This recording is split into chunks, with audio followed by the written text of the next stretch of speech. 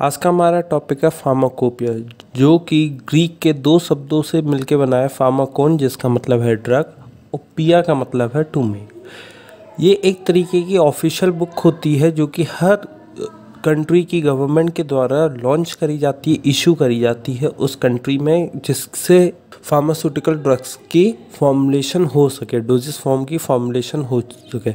इस बुक में pharmaceutical substance उनके साथ साथ उनके फार्मूला, डिस्क्रिप्शन और स्टैंडर्ड्स को मेंशन किया जाता है।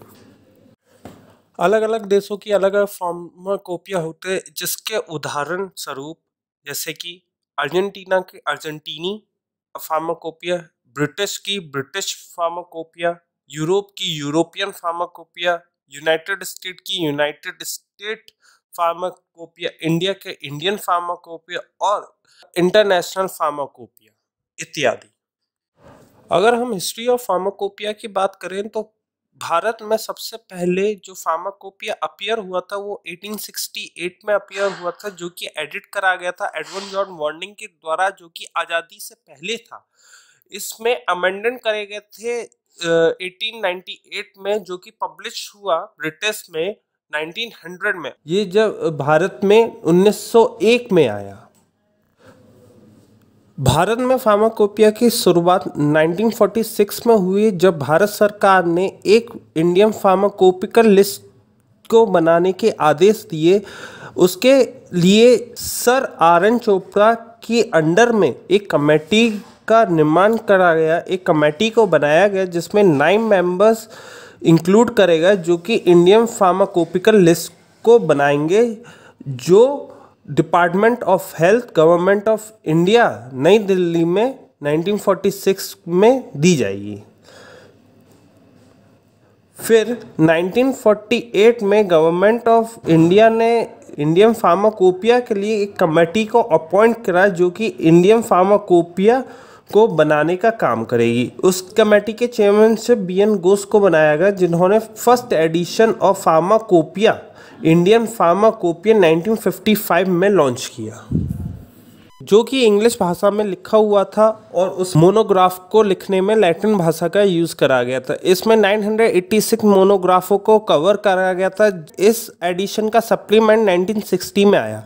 Second edition of Indian pharmacopoeia 1966 में आया, जो कि बी मुखर्जी की चेयरमैनशिप के दौरान में आया। इसमें ऑफिशियल मोनोग्राफों को इंग्लिश में बदल दिया गया था और ड्रग्स को मैट्रिक फॉर्म में ऑब्ज़र्व किया गया था, मैट्रिक फॉर्म में लिखा गया था और टैबलेट और इंजेक्शन की यूजुअल स्ट्रेंथ को मेंशन किया गया था। इसमें 274 मोनोग्राफों को डिलीट कर दिया गया था फ़र्स्ट एडिशन में से और 93 मोनोग्राफ इसमें जोड़े गए थे। सप्लीमेंट्री एडिशन जो इसका आया, वो आया 1975 में, जिसमें 126 मोनोग्राफों को इंक्लूड करा गया था और 250 मोनोग्राफ में चेंजेस कराए गए थे।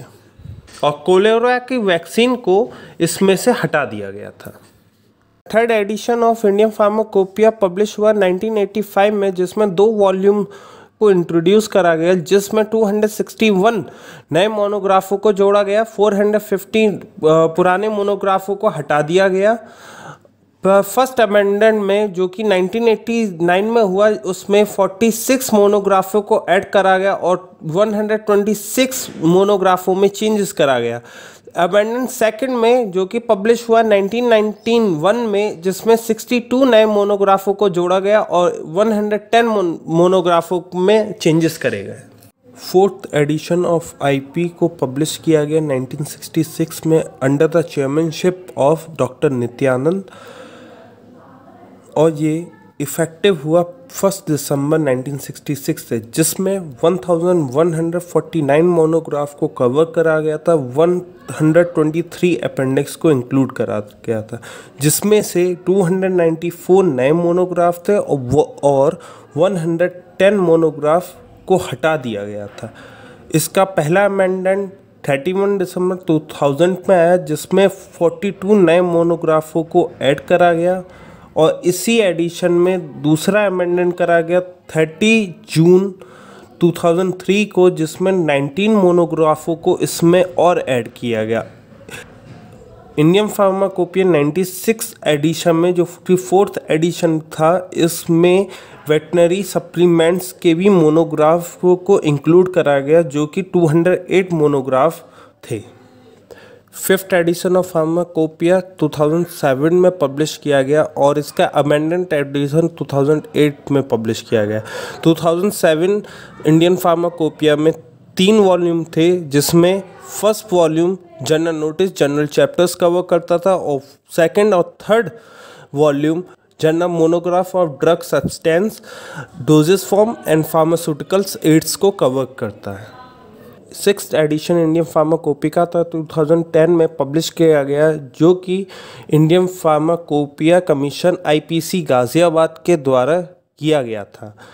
इस एडिशन में तीन वॉल्यूम कंसिडर करे गए थे, जिसमें से first volume notice prefaces structure of IPC acknowledgement introduction और जनरल चैप्टर्स को इंक्लूड करता था। सेकेंड वॉल्यूम में general notice journal monograph doses form जो कि ए से लेकर एम ड्रग सब्सटेंस को कवर करती थी। थर्ड वॉल्यूम में general substance doses form pharmaceuticals at N से लेके जेड तक की ड्रग्स सब्सटेंसों को कवर करती थी। जो सेवेंथ एडिशन था, वो 2014 में पब्लिश किया गया by IPC Indian pharmacopoeia commission Ghaziabad. In behalf of government of India ministry of health and family welfare इस वॉल्यूम uh, में इस एडिशन uh, में चार वॉल्यूम्स को रखा गया जिसमें 2550 मोनोग्राफ्स ऑफ़ ड्रग जिसमें से 577 नए मोनोग्राफ थे जो कंटेन करते थे एपीआई एक्सिपियन डोजेस और हर्बल प्रोडक्ट्स को। अब जो लेटेस्ट एडिशन है, वो eighth edition of Indian pharmacopoeia है, जो कि पब्लिश हुआ 2018 में Indian pharmacopoeia commission IPC Ghaziabad के द्वारा in behalf of government of India ministry of health and family welfare इस एडिशन में चार वॉल्यूम प्रिंट हुए और जिनके साथ एक डीवीडी भी साथ में दी गई। इसमें जो नए मोनोग्राफ थे, वो 220 मोनोग्राफ नए ऐड करे गए रिवाइज करे गए।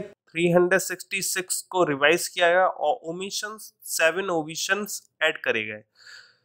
अब 170 न्यू केमिकल मोनोग्राफों को इसमें डाला गया, जिसमें 49 ईपीआई से रिलेटेड थी 64 फॉर्मुलेशन थी 53 फिक्स डोजेस फॉर्मुलेशन थी, दो एक्सिपियंट दो antibiotic 15 new herbal and herbal products मोनोग्राफों को इंक्लूड करा गया, तीन रेडियो फार्मास्यूटिकल मोनोग्राफों को इंक्लूड करा गया fourteen new veterinary non biological monograph, eighteen new biological monograph, two vaccine six biotechnology derivative therapy products, and ten and ten blood related products को include करा गया। और हमारे इंडियन फार्माकोपिया कुछ दिखने में ऐसे होते